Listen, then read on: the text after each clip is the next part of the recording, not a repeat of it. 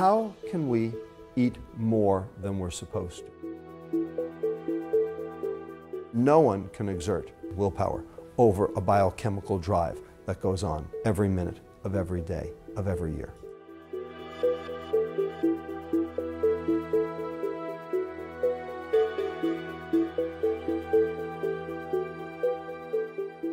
Why are we eating more? What happened to make us eat more? We had this exquisite system, very sensitive system called leptin, that allowed us to modulate our total food intake for 50,000 years or more. And then all of a sudden, in 30 years, the thing's broken seemingly beyond repair. How can we eat more than we're supposed to? And the answer lies in understanding the biochemistry of the brain. Because clearly those signals are not working. So, one signal is the starvation signal, which is clearly not working. And that's leptin. And leptin tells your brain you've had enough and you can burn energy properly. But when you don't get the leptin signal, your brain thinks it's starving. The second way is in the reward system. So there's an area of your brain called the reward center. The scientific name is the nucleus accumbens. And it is the site where dopamine works. Dopamine is a neurotransmitter and it conveys the feeling of pleasure. And pleasure, for lack of a better word, is good. Except that a lot of pleasure, as it turns out, is not. In the process of going for more pleasure, we have changed our dopamine system.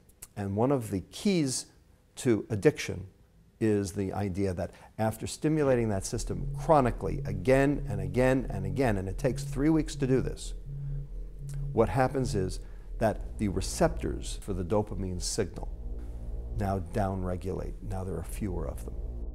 We know that the brains of people with obesity do respond differently to food. In that reward center, when they see palatable food, some parts of the brain light up a lot, that wanting part. But the liking part, once they taste the food, it's blunted. It's not that they're getting more pleasure and reward, they're getting less. That's like living with an urge that you can't satisfy. And so people think that this hypo reward condition or this inability to experience the same level of reward from the same foods that other people are getting is causing people to overeat in order to get that dopamine that they're missing. You have to eat more to get the same effect. And that phenomenon is called tolerance. And then when you pull the chemicals that cause the pleasure away, now there's no dopamine and fewer receptors, and that gives you symptoms of withdrawal. So tolerance and withdrawal are the hallmarks of addiction. We know that this occurs with nicotine. That's why we have tobacco addiction. We know this occurs with alcohol.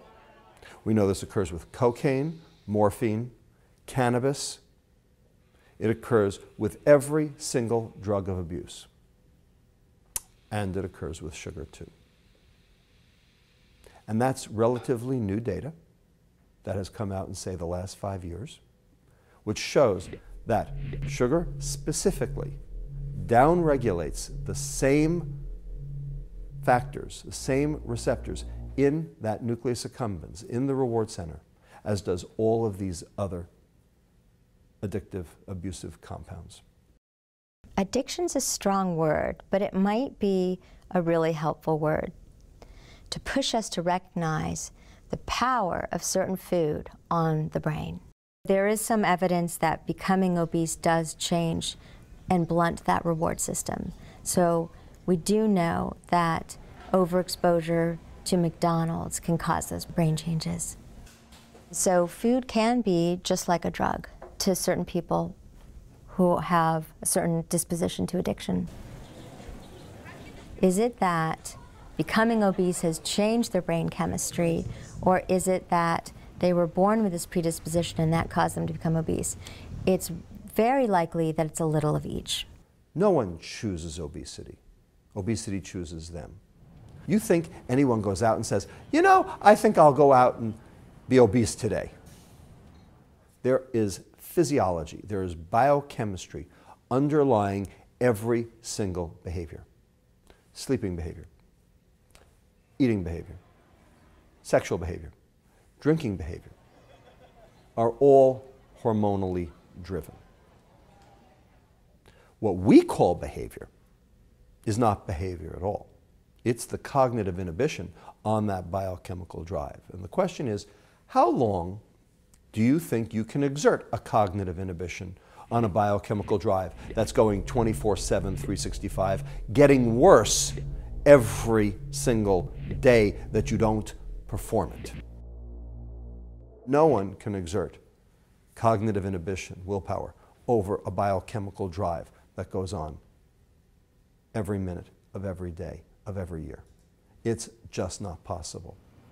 We think that developing compulsive eating and maybe food addiction reflects some real changes in the wiring of our brain. And that's a scary thought that becoming obese has changed us forever.